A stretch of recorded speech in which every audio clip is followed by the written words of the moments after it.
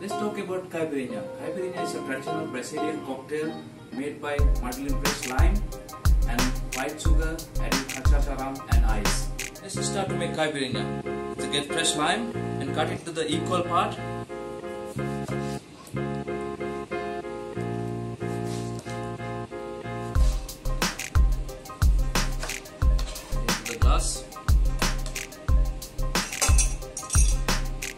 Going to use one teaspoon of white sugar and half. So let's start to muddle.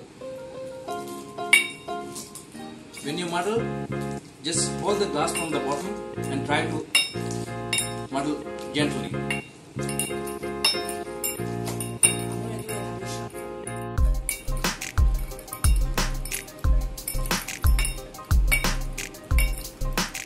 Are going to add the cachaça rum.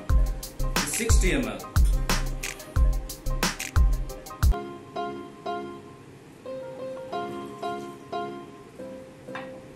And then we are going to add the ice.